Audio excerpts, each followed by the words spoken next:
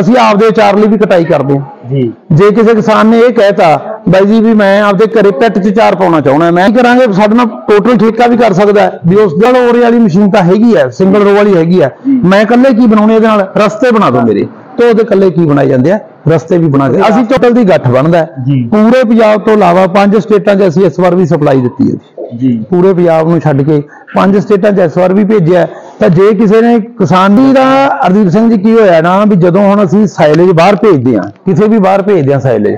ਤਾਂ ਆਪਣੇ ਪੰਜਾਬ 'ਚ ਤਾਂ ਤੂੜੀ ਦੀ ਕੋਈ ਦਿੱਕਤ ਜ਼ਿਆਦਾ ਨਹੀਂ ਆਉਂਦੀ। ਤੇ ਜਦੋਂ ਬਾਹਰ ਭੇਜਦੇ ਹਾਂ ਉਹ ਨਾਲ ਤੂੜੀ ਦੀ ਮੰਗ ਕਰਦੇ ਆ ਸਭ ਜੀ। ਲੱਗਦਾ ਸਾਨੂੰ ਲਓ ਵੀ ਸੱਜਣੋ ਅੱਜ ਆਪਾਂ ਖੜੇ ਆ ਪਿੰਡ ਮੱਲਣ ਜ਼ਿਲ੍ਹਾ ਮੁਕਤਸਰ ਦੇ ਵਿੱਚ। ਕੀ ਤੁਸੀਂ ਵੀ ਮੱਕੀ ਬੀਜੀ ਆ ਵੱਢਣੀ ਆ ਹੁਣ? ਫਿਕਰ ਬਣਿਆ ਪਿਆ। ਤੁਸੀਂ ਮੱਕੀ ਦੇ ਵਿੱਚ ਝਿਰੀਆਂ ਮਰਾਉਣੀਆਂ। ਮੱਕੀ ਦੇ ਚਾਰ ਦੀਆਂ ਗੱਠਾਂ ਬਣਾਉਣੀਆਂ ਜਾਂ ਤੁਸੀਂ ਵਢਾਈ ਦਾ ਬਣਾਈ ਦਾ ਸਾਰਾ ਠੇਕਾ ਕਰਨਾ ਜਾਂ ਤੁਸੀਂ ਮੱਕੀ ਵੇਚਣੀ ਆ ਜਾਂ ਤੁਸੀਂ ਅੱਧ ਤੇ ਕਰਨੀ ਆ ਜਾਂ ਤੁਸੀਂ ਮੱਕੀ ਦਾ ਅਚਾਰ ਖਰੀਦਣਾ। ਆਪਾਂ ਪਿੰਡ ਮੱਲਣ ਖੜੇ ਆ ਜੀ। ਸਾਰੀ ਜਾਣਕਾਰੀ ਬਾਈ ਤੋਂ ਲੈਨੇ ਆ। ਵੀਡੀਓ ਦੇ ਨਾਲ ਬਣੇ ਰਹੋ। ਸਤਿ ਸ੍ਰੀ ਅਕਾਲ ਜੀ। ਸਤਿ ਸ੍ਰੀ ਅਕਾਲ ਜੀ ਜੀ ਸਤਿ ਸ੍ਰੀ ਅਕਾਲ। ਹਾਂਜੀ ਸਰ ਤੁਸੀਂ ਆ ਜਿਹੜੀ ਮੱਕੀ ਬਾਰੇ ਦੱਸ ਰਹੇ ਸੀ ਵੀ ਇਹ ਕੀ ਕੰਮ ਕਰਦੀ ਹੈ ਕਿੰਨੇ ਉਰੇ ਲਿਜਾਂਦੀ ਹੈ ਮਸ਼ੀਨ? ਇਹ ਹਰਦੀਪ ਜੀ ਹੁਣ ਵੇਖੋ ਪਤਾ ਕੀ ਹੈ। ਮੱਕੀ ਇੱਕ ਅਜਿਹੀ ਫਸਲ ਹੈ ਜਿਹਦਾ ਮੋਸਟਲੀ ਜਿਹੜਾ ਐਂਡ ਵਾਲਾ ਪਾਰਟ ਆ ਉਹ ਬਾਰਿਸ਼ ਚ ਆਉਂਦਾ ਜੀ ਹਾਂਜੀ। ਐਂਡ ਵਾਲਾ ਪਾਰਟ ਬਾਰਿਸ਼ ਚ ਆ ਜਾਂਦਾ। ਜਦੋਂ ਬਾਰਿਸ਼ ਚ ਆ ਜਾਂਦਾ ਉਹਦੀ ਕਟਾਈ ਦੇ ਵੇਲੇ ਫਿਰ ਕਾਫੀ ਔਖ ਫੀਲ ਹੁੰਦੀ ਹੈ। ਇੱਕ ਉਸ ਟਾਈਮ ਰੁੱਤ ਜਿਹੜੀ ਹੁੰਦੀ ਹੈ ਉਹ ਗਰਮੀ ਦੀ ਹੁੰਦੀ ਹੈ। ਗਰਮੀ। ਦੀ ਰੁੱਤ ਵਿੱਚ ਜਿਹੜੇ ਫਿਰ ਉਹ ਫਸਲ ਦੀ ਉਚਾਈ ਜ਼ਿਆਦਾ ਹੈ ਉਸ ਨੂੰ ਕੱਟਣ ਵਿੱਚ ਕੀ ਆਉਂਦੀ ਹੈ ਕਾਫੀ ਤਕਲੀਫ ਆਉਂਦੀ ਹੈ। ਤੇ 4 ਰੋ ਮਸ਼ੀਨ ਹੈਗੀ ਹੈ। 4 ਰੋ ਮਸ਼ੀਨ ਹੈ ਇਸ ਦੇ ਵਿੱਚ ਜਿਹੜੇ ਰਸਤੇ ਹੈ ਉਹ ਆਪਾਂ ਨੂੰ ਬਣਾਉਣ ਦੇ ਲਈ ਜਿਹੜੇ ਹੈਗੇ ਆ ਉਹ ਖੁਦ ਹੀ ਚੱਲਦੀ ਹੈ। ਆਪਾਂ ਨੂੰ ਮੈਨੂਅਲ ਪਾਵਰ ਨਹੀਂ ਲੋੜ ਪੈਂਦੀ ਆਦਮੀ ਦੀ ਲੋੜ ਨਹੀਂ ਪੈਂਦੀ। ਤੇ ਰਸਤਾ ਬਣਾਉਂਦੀ ਹੈ ਰਸਤਾ ਬਣਾ ਕੇ ਪਿੱਛੇ ਟਰਾਲੀ ਪਾਉਣ ਦੀ ਲੋੜ ਵੀ ਨਹੀਂ ਰਹਿੰਦੀ। ਇਹ ਉੱਪਰ ਹੀ ਉਹਦੇ ਵਿੱਚ ਹਾਂ। ਉਹ ਉੱਪਰ ਹੀ ਟੋਕਰੀ ਚ ਪਾ ਦਿੰਦੀ ਹੈਗੀ ਕੋਈ ਤਾਂ ਕੀ ਹੁੰਦਾ ਵੀ ਜੇ ਆਪਾਂ ਪਿੱਛੇ ਟਰਾਲੀ ਪਾਉਣੇ ਆ ਨਾ ਉਹ ਉਹਦੇ ਲਈ ਉਹ ਇਹ ਟਰਾਲੀ ਜਿਹੜੀ ਆ ਉੱਪਰ ਬਣ ਗਈ। ਹੈ। ਤਾਂ ਇਹ ਰਸਤਾ ਬਣਾ ਦਿੰਦੀ ਹੈ। ਰਸਤਾ ਬਣਾ ਕੇ ਉਸ ਤੋਂ ਬਾਅਦ ਚਾਹੇ ਆਪਾਂ ਹਿੱਸੇ ਨਾਲ ਕੱਟ ਲਈਏ ਚਾਹੇ ਸਿੰਗਲ ਰੋ ਨਾਲ ਕੱਟ ਲਈਏ ਵੈਸੇ ਅਸੀਂ ਤਾਂ ਹਿੱਸੇ ਨਾਲ ਹੀ ਜ਼ਿਆਦਾ ਕਟਾਈ ਕਰਦੇ ਹਾਂ। ਜੀ ਇਹ ਕਿੰਨੇ ਟਾਈਮ ਤੇ ਕਿੱਲਾ ਵੜ ਦਿੰਦੀ ਹੈ ਜੀ? ਇਹ ਮੋਸਟਲੀ ਸ਼ਾਮ ਤੱਕ ਜੇ ਵਧੀਆ ਸਹੀ ਚੱਲੀ ਜਾਵੇ ਤਾਂ 6 ਤੋਂ 7 ਏਕੜ ਜਿਹੜਾ। ਉਹ ਖਤਮ ਵਧੀਆ ਵਾਹਣ ਹੋਵੇ, ਵਧੀਆ ਵਧੀਆ। ਸੁੱਕਾ ਬਾਣ ਹੋਵੇ 6-7 ਕਿੱਲੇ ਵਾਹਣ ਤਿਆਰ ਕਰ। ਇਹ ਚਾਰ ਉਰੇ ਲਿਜਾਂਦੀ ਹੈ ਜੀ? ਚਾਰ ਓਰੇ ਲੈ ਕੇ ਜਾਂਦੀ ਹੈ। ਤੇ ਕਿੰਨੀ ਦੂਰ ਤੱਕ ਤੁਸੀਂ ਇਹ ਮਸ਼ੀਨ ਨੂੰ ਵੱਲੋਂ ਲਿਜਾ ਸਕਦੇ ਹੋ ਜੀ ਆਪਣੇ? ਦੇਖੋ ਇਹ ਅਮ, ਹਰਦੀਪ ਜੀ ਸਾਡੇ ਕੋਲ ਇੱਕ ਮਸ਼ੀਨ ਦੇ ਨਾਲ ਜਿਵੇਂ ਤੁਸੀਂ ਦੇਖੋਗੇ ਇਹ ਤਿੰਨ ਸਿੰਗਲ ਓਰੇ ਵਾਲੀਆਂ ਵੀ ਹੈਗੀਆਂ। ਜੀ, ਮਤਲਬ। ਇਹ ਨਾ ਤਿੰਨ ਸਿੰਗਲ ਓਰੇ ਵਾਲੀਆਂ ਵੀ ਹੈਗੀਆਂ। ਇਹ ਪੂਰਾ ਸੈਟਅਪ ਹੀ ਬਣ ਜਾਂਦਾ ਹੈਗਾ। ਜੀ। ਜੇ ਚਾਹੀਏ ਤਾਂ ਸ਼ਾਮ ਤੱਕ ਇਹ ਸਾਰਾ ਸੈੱਟ ਰਲ ਕੇ 10 ਤੋਂ 12 ਕਿੱਲੇ ਵਾਣ ਵੱਢ ਦਿੰਦਾ ਹੈ। ਸਾਨੂੰ ਇਹ- ਇਹਨਾਂ ਦੇ ਇਹਨਾਂ ਵਾਸਤੇ ਏਰੀਆ ਮਿਲਣਾ ਚਾਹੀਦਾ ਹੈ। ਪੰਜਾਬ 'ਚ ਕਿਤੇ ਵੀ ਹੋਵੇ ਅਸੀਂ ਜਾਵਾਂਗੇ। ਜਾਓਗੇ ਹਾਂ ਪੰਜਾਬ 'ਚ ਕਿਤੇ ਵੀ ਹੋਵੇ ਜਾਵਾਂਗੇ। ਇਸ ਤੋਂ ਇਲਾਵਾ ਹੋਰ ਵੀ ਹੈ। ਜੀ ਆਪਾਂ ਜੇ ਇਹਦੇ ਨਾਲ ਤਿੰਨ ਤਰ੍ਹਾਂ ਦੀ ਅਸੀਂ ਆਪਦੇ ਅਚਾਰ ਲਈ ਵੀ ਕਟਾਈ ਕਰਦੇ ਹਾਂ। ਜੀ। ਜੇ ਕਿਸੇ ਕਿਸਾਨ ਨੇ ਇਹ ਕਹਿਤਾ ਬਾਈ ਜੀ ਵੀ ਮੈਂ ਆਪਦੇ ਘਰੇ ਪੈਟ 'ਚ ਚਾਰ ਪਾਉਣਾ ਚਾਹੁੰਦਾ ਮੈਂ ਗੱਠਾਂ ਨਹੀਂ ਬਣਾਉਣੀਆਂ ਪਰ ਮੈਂ ਚਾਰ ਕਾਸ 'ਚ ਪਾਉਣਾ ਪੈਟ 'ਚ ਪਾਉਣਾ ਆਪਦੇ। ਤਾਂ ਅਸੀਂ ਕੀ ਕਰਾਂਗੇ ਸਾਡੇ ਨਾਲ ਟੋਟਲ ਠੇਕਾ ਵੀ ਕਰ ਸਕਦਾ ਵੀ ਉਸ ਦੇ ਵਾਹਣ ਦੀ ਕਟਾਈ ਕਰਕੇ ਉਸ ਦੇ ਘਰ ਤੱਕ ਪਹੁੰਚਾ ਦਾਂ। ਜੀ। ਘਰ ਤੱਕ ਪਹੁੰਚਾ ਦਾਂਗੇ ਉਸ ਤੋਂ ਬਾਅਦ ਉਹ ਘਰੇ ਗਏ ਆਪਦੇ ਪੈਟ ਤੇ ਚਾਰ ਨੂੰ ਸਾਂਭਦੇ। ਇਹ ਠੀਕ ਇਸ ਤੋਂ ਇਲਾਵਾ ਜਿਹੜੀਆਂ ਟਰਾਲੀਆਂ ਜੀ। ਤਾਂ ਅਸੀਂ ਉਸ ਦੀ ਕਟਾਈ ਕਰਕੇ ਟਰਾਲੀਆਂ 'ਚ ਵੀ ਪਾ ਦਾਂਗੇ। ਜੀ। ਜੇ ਉਹ ਇਹ ਵੀ ਚਾਹਵੇ ਵੀ ਮੇਰੇ ਕੋਲ ਤਾਂ ਸਿੰਗਲ ਓਰੇ ਵਾਲੀ ਮਸ਼ੀਨ ਤਾਂ ਹੈਗੀ ਹੈ ਸਿੰਗਲ ਰੋ ਵਾਲੀ ਹੈਗੀ ਹੈ ਮੈਂ ਇਕੱਲੇ ਕੀ ਬਣਾਉਣੇ ਇਹਦੇ ਨਾਲ? ਰਸਤੇ ਬਣਾ ਦਿਓ ਮੇਰੇ। ਤੇ ਉਹਦੇ ਇਕੱਲੇ ਕੀ ਬਣਾਏ ਜਾਂਦੇ ਆ? ਰਸਤੇ ਵੀ ਬਣਾ ਕੇ ਅਸੀਂ ਚਾਹੁੰਦੇ ਵੀ ਕਿਸੇ ਲੋਟ ਮਦਦ ਹੋ ਰਹੀ ਜੇ ਕਿਸੇ ਭਰਾ ਦੀ ਕਰ ਸਕਦੇ ਆ ਵੀ ਸੀਜ਼ਨ ਦੇ ਵਿੱਚ ਆਪਾਂ ਨੂੰ ਬੰਦਿਆਂ ਦੀ ਵੀ ਤੋੜ ਪੈਂਦੀ ਹੈ ਤੋੜ ਪੈ ਜਾਂਦੀ ਹੈ ਨਾ ਝੋਨੇ ਨਾਲ ਰਲ ਜਾਂਦਾ ਸੀ ਖਰਚਾ ਵੀ ਬਹੁਤ ਪੈਂਦਾ ਜੀ, ਕੰਮ। ਨਿਬੜਦਾ ਨਹੀਂ ਗਾ। ਨਿਬੜਦਾ ਨਹੀਂ। ਵੀ ਤੁਸੀਂ ਇਹਦੇ ਨਾਲ ਇਕੱਲੀਆਂ ਝਿਰੀਆਂ ਕਰ ਹਾਂ ਜੇਕਰ ਕਿਸੇ ਦੀ ਜ਼ਰੂਰਤ ਹੈ ਤਾਂ ਆਪਾਂ ਉਸਦੀ ਉੱਥੇ ਵੀ ਉਹਦੀ ਹੈਲਪ ਕਰਨ ਦੀ ਕੋਸ਼ਿਸ਼ ਕਰਾਂਗੇ ਜਿੰਨੇ ਵੀ ਕਿਉਂ ਅਸੀਂ ਜਦੋਂ ਪਹਿਲਾਂ ਸਾਡੇ ਕੋਲੇ ਨਹੀਂ ਸੀ ਅਸੀਂ ਉਸ ਚੀਜ਼ ਨੂੰ ਹੰਡਾਇਆ ਸਾਨੂੰ ਉਸ ਦੀ ਤਕਲੀਫ ਪਤਾ ਹੈ ਅਸੀਂ ਚਾਹੁੰਦੇ ਹਾਂ ਵੀ ਇਹ ਕਿਸੇ ਦੀ ਕੋਈ ਮਦਦ ਕਰ ਸਕਦੇ ਹਾਂ ਤਾਂ ਆਪਾਂ ਜ਼ਰੂਰ ਕਰਾਂਗੇ। ਹਾਂਜੀ। ਇਹ ਇੱਕ ਸਿੰਗਲ ਉਰੇ ਵਾਲੀਆਂ ਸਿੰਗਲ ਓਰੇ ਵਾਲੀਆਂ ਤਿੰਨ ਮਸ਼ੀਨਾਂ ਤਿੰਨ। ਮਸ਼ੀਨਾਂ। ਹੈਗੀਆਂ। ਨਾਲ ਇਕੱਠਾ ਸੈਟਅਪ ਲੱਗ ਜਾਂਦਾ 10 12 ਕਿੱਲੇ ਵੱਢ ਦਿੰਦੇ ਅਸੀਂ। ਹਾਂਜੀ। ਮੰਨ ਲਓ ਜੇ ਕਿਸੇ ਨੂੰ ਲੋੜ ਆ ਵੀ ਇਹ ਨਾਲ ਜੇ ਇਕੱਠਾ ਕੰਮ ਛੇਤੀ ਨਿਬੇੜਨਾ 10 ਹਾਂ ਨਾਲ ਨਾਲ ਲਾ ਦਿੰਦੇ ਨਾਲ ਤੁਸੀਂ ਸਕਦੇ ਹਾਂ। ਉਹ ਸਾਡਾ ਕੰਮ ਹੈ ਨਾਲ ਲਾ ਅੱਗੇ ਦਿੰਦੇ ਜੀ ਆ ਕੀ ਸਿਸਟਮ ਹੈ ਜੀ? ਇਹ ਵੈਸੇ ਇਹ ਵੀ ਇੱਕ ਤਰ੍ਹਾਂ ਦੇ ਨਾਲ ਜਦੋਂ 4 ਰੋ ਨਹੀਂ ਸੀ ਪਹਿਲੀ ਗੱਲ ਤਾਂ ਇਹ ਵੀ ਜੇ ਮੱਕੀ 'ਚ ਰਸਤਾ ਬਣਾਉਣਾ ਵੀ ਉਹਦੇ ਵਾਸਤੇ ਵਰਤੀ ਜਾਂਦੀ ਹੈ। ਜੀ। ਚਾਰ ਜਾਂ ਪੰਜ ਓਰੇ ਲੈ ਜਾਂਦਾ ਇਹ। ਇਹ ਵੀ ਤੇ ਇਹ ਕਟਾਈ ਕਰ ਦਿੰਦਾ ਕੱਲੀ। ਜੀ। ਤਾਂ ਇਸ ਤੋਂ ਇਲਾਵਾ ਕਈ ਵਾਰ ਕੋਈ ਕਿਸਾਨ ਨੇ ਪੱਠੇ ਬੀਜੇ ਹੁੰਦੇ ਵੱਡੇ ਜਵਾਰ ਜਾਂ ਕੁਝ ਹੋਰ ਉਹਦੀ ਕਟਾਈ ਕਰਨੀ ਹੋਵੇ ਉਹਦੀ ਵੀ ਕਟਾਈ ਹੋ ਜਾਂਦੀ ਹੈ। ਆਪਦੀ ਸ਼ਹਿਰ ਦੇ ਵਿੱਚ ਵੇਚਣੇ ਹੋਣ ਉਹ ਕਹਿੰਦਾ ਮੈਂ ਇਹਦੇ ਨਾਲ ਕਟਾਈ ਕਰਾਉਣੀ ਹੈਗੀ ਉਹ ਹੋ ਜਾਂਦਾ ਹੈ। ਹੜੰਬੇ ਨਾਲ ਪੱਠੇ ਕੁਤਰਦੇ ਆ ਕਈ ਬੰਦੇ ਇਸ ਤਰ੍ਹਾਂ ਕਟਾਈ ਕਰਾ ਕੇ ਜਵਾਰ ਜਾਂ ਕੁਝ ਹੋਰ ਉਹਦੀ ਵੀ ਕਟਾਈ ਇਹਦੇ ਨਾਲ ਹੋ ਜਾਂਦੀ ਹੈ। ਇਹ ਫਸਲ ਵੱਡੀ ਉੱਚੀ ਲੰਮੀ ਫਸਲ ਦੀ ਕਟਾਈ ਵਾਸਤੇ। ਇਹ ਸਰ ਤੁਸੀਂ ਮੰਨ ਲਓ ਕਿਰਾਏ ਤੇ ਦਿੰਨੇ ਆ ਜਾਂ ਇਹ। ਤੁਸੀਂ ਆਪ ਵੱਢ ਕੇ ਆਉਣੇ ਆ? ਜੇ ਜੇ ਤਾਂ ਕੋਈ ਆਪਣੇ ਨੇੜੇ ਹੈ ਥੋੜਾ ਵਾਹਨ ਹੈ ਮੰਨ ਲਓ ਹੈ ਕੋਈ ਕੰਮ ਘੰਟੇ ਅੱਧੇ ਘੰਟੇ ਦਾ ਤਾਂ ਕੋਈ ਕਿਰਾਏ ਵਾਲੀ ਵੀ ਵੱਡੀ ਗੱਲ ਨਹੀਂ। ਚੱਲ ਕਿਸੇ ਭੈਣ ਭਰਾ ਦਾ ਸਰ ਜਾਂਦਾ ਅਸੀਂ ਵੈਸੇ ਵੀ ਮਦਦ ਕਰਦੇ ਆ। ਪਰੰਤੂ ਜੇ ਕਿਸੇ ਨੇ ਕੋਈ ਆਪਦਾ ਲੌਂਗ ਟਰਮ ਲਈ ਥੋੜਾ ਜ਼ਿਆਦਾ ਕੰਮ ਹੈ ਲੈ ਕੇ ਤਾਂ ਉਹ ਕਿਰਾਏ ਤੇ ਵੀ ਹੋ ਜਾਂਦਾ। ਟਰੈਕਟਰ ਨਾਲ ਭੇਜ ਕੇ ਉਹਦਾ ਵਾਹਨ ਵੀ ਕਟਾਈ ਵੀ ਅਸੀਂ ਕਰਾਂਗੇ ਠੀਕ ਇਹਦੇ ਵਿੱਚ ਸਾਰੀਆਂ ਆਪਸ਼ਨਾਂ ਹੈ ਜੀ ਸਾਰੀਆਂ ਆਪਸ਼ਨਾਂ ਹੈਗੀਆਂ। ਅੱਗੇ ਸਾਰਾ ਗੱਠਾਂ ਦਾ ਜੀ ਤੁਹਾਡਾ ਇਹ ਸੰਤ ਫਾਰਮ ਜੇ ਅਸਲ ਵਿੱਚ ਹਰਦੀਪ ਦੀ ਜੀ। ਆਪਾਂ ਕਹਿ ਦਿੰਦੇ ਹਾਂ ਨਾ ਵੀ ਹਰ ਕੋਈ ਬੰਦਾ ਆਪਦੇ ਚਾਹੁੰਦਾ ਵੀ ਉਹਦੇ ਮਾਂ ਪਿਓ ਲਈ ਉਹ ਕੁਝ ਕਰ ਸਕੇ ਹਨਾ। ਇਹ ਸਾਡੇ ਪਿਤਾ ਦੇ ਨਾਮ ਤੇ ਹੈ। ਸੰਤ ਮੇਰੇ ਪਾਪਾ ਜੀ ਦਾ ਨਾਮ ਸੀਗਾ। ਅਸੀਂ ਉਸੇ ਲਈ ਉਹਦੇ ਨਾਮ ਤੇ ਕਰਿਆ ਪਰੰਤੂ ਉਹਨੂੰ ਦੇਖਣਾ ਨਹੀਂ ਮਨਜ਼ੂਰ ਹੋਇਆ। ਉਹ ਲਾਸਟ ਈਅਰ ਸਾਨੂੰ ਛੱਡ ਕੇ ਚਲੇ ਗਏ। ਜੀ ਸਰ। ਤਾਂ ਇਹ ਸਾਡੇ ਕੋਲੇ ਇਸ ਤਰ੍ਹਾਂ ਦੇ ਦੋ ਬਿੱਲਰ ਹੈ। ਠੀਕ ਹੈ ਤਾਂ ਹਾਂ ਇੱਕ ਬਿੱਲਰ ਖੜਾ ਹੈ, ਇੱਕ ਆ ਰਿਹਾ ਸਾਡਾ। ਹੈ ਤਾਂ ਇਹ ਕੁਆਂਟਲ ਦੀ ਗੱਠ ਬਣਦਾ। ਪੂਰੇ ਪੰਜਾਬ ਤੋਂ ਇਲਾਵਾ ਪੰਜ ਸਟੇਟਾਂ 'ਚ ਅਸੀਂ ਇਸ ਵਾਰ ਵੀ ਸਪਲਾਈ ਦਿੱਤੀ ਹੈ ਜੀ। ਪੂਰੇ ਪੰਜਾਬ ਨੂੰ ਛੱਡ ਕੇ ਪੰਜ ਸਟੇਟਾਂ 'ਚ ਇਸ ਵਾਰ ਵੀ ਭੇਜਿਆ। ਤਾਂ ਜੇ ਕਿਸੇ ਨੇ ਕਿਸਾਨ ਨੇ ਆਪਦੀਆਂ ਪਹਿਲੀ ਗੱਲ ਆਪਦਾ ਜੇ ਪਿੱਟ 'ਚ ਪਾਉਣਾ ਪਿੱਟ 'ਚ ਪਾ ਲੇ। ਜੇ ਸਾਡੇ ਤੋਂ ਗੱਠਾਂ ਬਣਾਉਣੀਆਂ ਉਹ ਗੱਠਾਂ ਪੈਸਿਆਂ ਰੂਪ 'ਚ ਵੀ ਬਣਾ ਸਕਦਾ ਹੈ।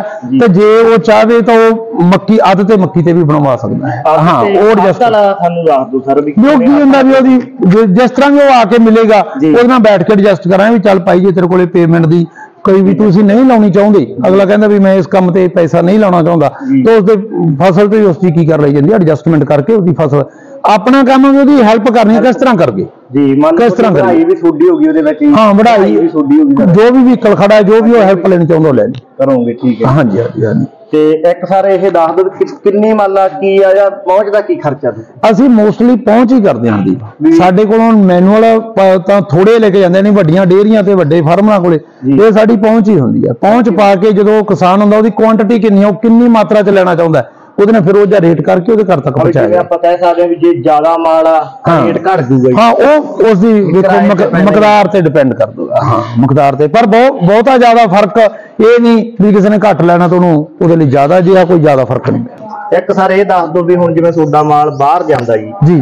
ਵੀ ਇਹਦਾ ਬਾਹਰ ਇੰਨਾ ਜਾਣ ਦਾ ਮੇਨ ਕਾਰਨ ਕੀ ਆ ਵੀ ਤੁਹਾਡੇ ਕੋਲੇ ਗਾਹਕ ਇੰਨੀ ਦੂਰੋਂ ਆਉਂਦਾ? ਜਿਵੇਂ ਰਾਜਸਥਾਨ ਤੱਕ ਮੈਂ ਗਿਆ ਸੀ ਉੱਥੇ ਵੀ ਆ ਤੁਹਾਡਾ ਸੰਤ ਫਾਰਮ ਦੀਆਂ ਗੱਠਾਂ ਮੈਂ ਪਈਆਂ ਦੇਖੀਆਂ। ਬਹੁਤ ਇਹਦੇ ਵਿੱਚ ਕਾਰਨ ਕੀ ਹੁੰਦਾ ਨਾ ਅਸਲ ਅਚਾਰ ਡਿਪੈਂਡ ਕਰਦਾ ਹੈ ਵੀ ਮੱਕੀ ਦੀ ਕੁਆਲਿਟੀ ਤੇ ਜੀ। ਆਪਣੇ ਕੋਲੇ ਕੁਆਲਿਟੀ ਕੀ ਜੀ ਉਹਨੂੰ ਸੰਭਾਲਿਆ ਕਿਸ ਢੰਗ ਨਾਲ ਉਸ ਨੂੰ ਉਸ ਪ੍ਰਤੀ ਆਪਣੀ ਨੀਅਤ ਕਿਹੋ ਜੀ ਹੈਗੀ ਹੈ? ਜੀ। ਤੇ ਜਿਸ ਨੇ ਬੰਦੇ ਨੇ ਕੰਮ ਹੀ ਆਪਦੇ ਪਿਤਾ ਦੇ ਨਾਮ ਤੇ ਕੀਤਾ ਤੇ ਨੀਅਤ ਤਾਂ ਸਾਫ਼ ਰੱਖਣੀ ਪੈਣੀ ਹੈ। ਜੀ। ਸਾਡੇ ਕੋਲੇ ਅਸੀਂ ਤੁਹਾਨੂੰ ਬੈਟ ਵੀ ਦੇ ਦਿੰਨੇ ਆ ਜੀ। ਔਰ ਲਗਭਗ ਇਸ ਟਾਈਮ ਵੀ ਜਿੰਨੇ ਕ ਅਸੀਂ ਕੰਟਰੈਕਟ ਤੇ ਬੀਜੇ ਆ ਜੀ। ਜਾਂ ਹੋਰ ਵੀ ਆ 350 ਕਿੱਲਾ ਸਾਡੇ ਆਪ ਦੇ ਸੰਪਰਕ ਦੇ ਵਿੱਚ ਪੈਨਰ ਮੱਕੀ ਦਾ ਅਸੀਂ ਬੀਜਿਆ ਅਸੀਂ ਹਾਂ ਅਸੀਂ ਪੈਨਰ ਦਾ ਹੀ ਬੀਜਿਆ ਪੈਨਰ 1844 1890 ਇਹ ਦੋ ਹੀ ਅਸੀਂ ਸਾਡੀਆਂ ਕੁਆਲਿਟੀਆਂ ਬੀਜੀਆਂ ਜਿਹਦੀ ਕੁਆਲਿਟੀ ਵਧੀਆ ਜਿਹਨੂੰ ਆਪਾਂ ਕਹਿੰਦੇ ਹਾਂ ਉੱਲੀ ਹਾਂ ਵਧੀਆ ਬ- ਸਾਰੀਆਂ ਮੱਕੀਆਂ ਵਧੀਆ ਪਰ ਸਾਡੇ ਲਈ ਇਸ ਦਾ ਰਿਜ਼ਲਟ ਬਹੁਤ ਵਧੀਆ ਰਿਹਾ। ਹਾਂ ਪੈਨਰ ਦਾ ਤਾਂ ਅਸੀਂ ਉਹਦੇ ਬਿੱਲ ਤੱਕ ਵੀ ਵਿਖਾ ਸਕਦੇ ਹਾਂ ਜਿੰਨਾ ਅਸੀਂ ਉਹ ਵੀ ਵਗੈਰਾ ਪਰਚੇਜ ਕੀਤਾ ਹੈ। ਹਾਂਜੀ।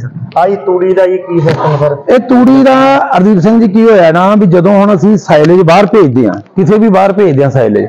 ਤਾਂ ਆਪਣੇ ਪੰਜਾਬ 'ਚ ਤਾਂ ਤੂੜੀ ਦੀ ਕੋਈ ਦਿੱਕਤ ਜ਼ਿਆਦਾ ਨਹੀਂ ਆਉਂਦੀ। ਤੇ ਜਦੋਂ ਬਾਹਰ ਭੇਜਦੇ ਹਾਂ ਨਾਲ ਤੂੜੀ ਦੀ ਮੰਗ ਕਰਦੇ ਆ ਸਭ ਜੀ। ਵੀ ਸਾਨੂੰ ਤੂੜੀ ਵੀ ਚਾਹੀਦੀ ਆ ਡੇਰੀ ਫਾਰਮਰ ਤਾਂ ਜਿਹੜੀ ਤੂੜੀ ਹੈ ਜੇ ਬਾਹਰ ਆਪਾਂ ਖੁੱਲੀ ਭੇਜਦੇ ਹਾਂ ਜਾਂਦੀ ਨਹੀਂ।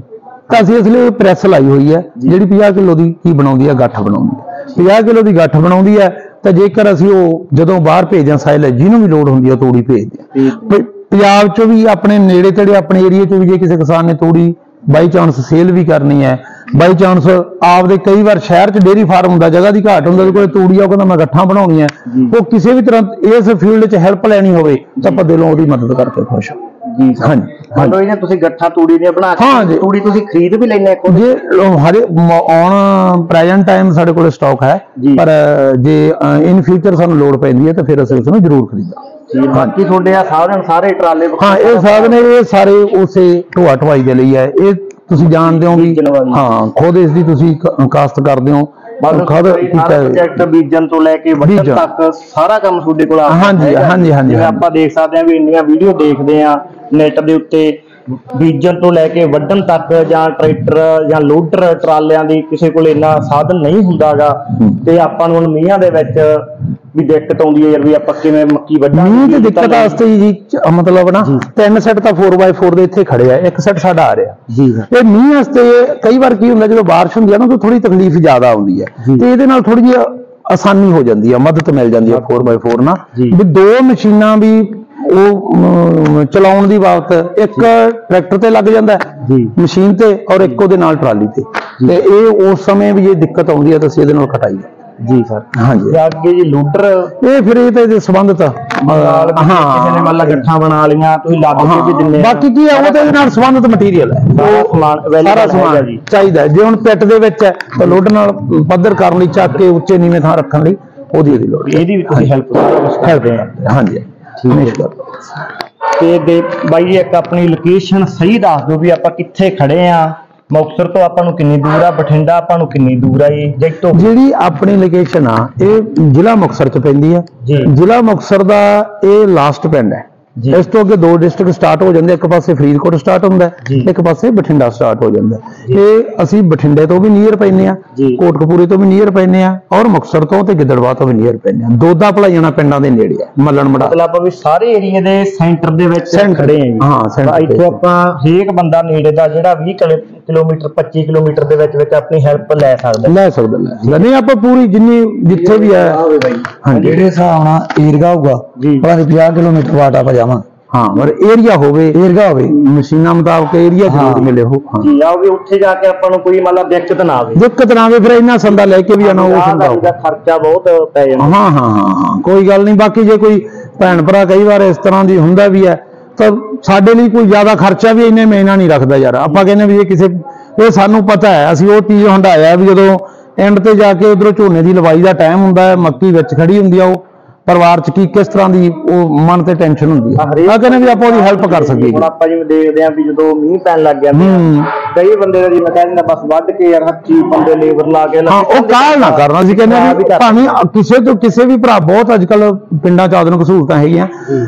ਕਿਸੇ ਤੋਂ ਵੀ ਕਰਨ ਪਰ ਮੱਕੀ ਨੂੰ ਪ੍ਰੋਪਰ ਟਾਈਮ ਤੋਂ ਪਹਿਲਾਂ ਵੱਢਣ ਦੀ ਕਾਲ ਨਾ ਪਹਿਲਾਂ ਟਾਈਮ ਖੜ ਜੂ ਖੜ ਜੋ ਜਰੂਰ ਪਕਾ ਕੇ ਉਹ ਚੰਗੀ ਤਰ੍ਹਾਂ ਜੋ ਹਾਂਜੀ। ਲਈ ਖਰਚਾ ਹੀ ਕਰ ਲਿਆ ਜੀ। ਹਾਂਜੀ ਹਾਂਜੀ ਠੀਕ ਹੈ।